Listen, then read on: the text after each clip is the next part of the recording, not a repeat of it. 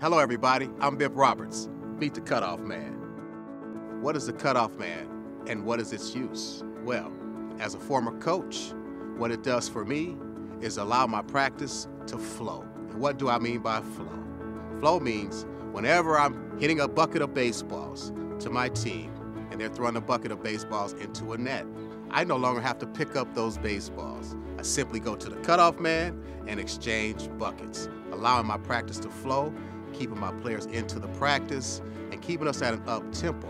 It's one of those situations where it solves the problems of picking up baseballs. I think it's the coach's best friend. I'm Brian Gwynn, head coach, Contra Costa, Costa College Baseball. Also, I'm the Director of Instruction of Shortstop Management Baseball. I would recommend the cutoff man because it keeps, it keeps me in tune with my players. I can go one-on-one -on -one a lot better, especially when I have a two-hour practice. I can bring a kid out and I get a lot, lot more work done in that two-hour frame. Name is Brian Gwynn Jr., also known as BJ.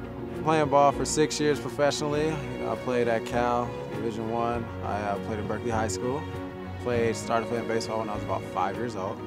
So sometimes you do need an extra person. If you want to throw across the diamond, you need that extra guy to catch for you. But with the cutoff man, I can throw as much as I need to. I can get as many reps as I need to in about half the time. You no longer have to pick up baseballs. So when I'm a coach and I'm hitting my player a baseball and he's throwing it into the cutoff man and my bucket is empty, I simply go to the cutoff man and I exchange the buckets. It only takes me 10 seconds. It's a one-man job now.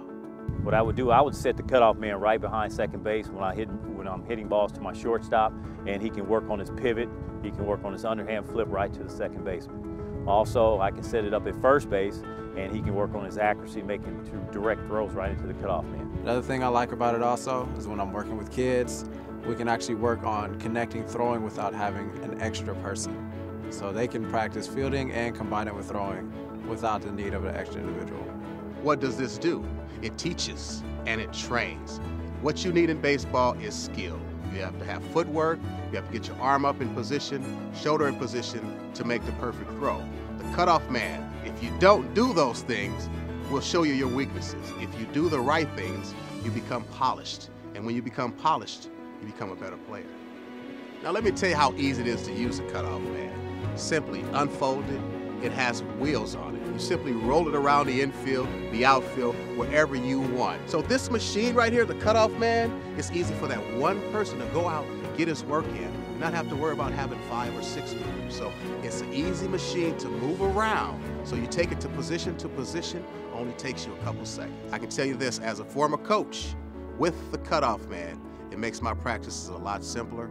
My kids have a tendency to learn more, and we get more out of each and every practice. Our practices are spirited, emotional, and they flow. Never boring, as we always used to say in baseball. Keep it live.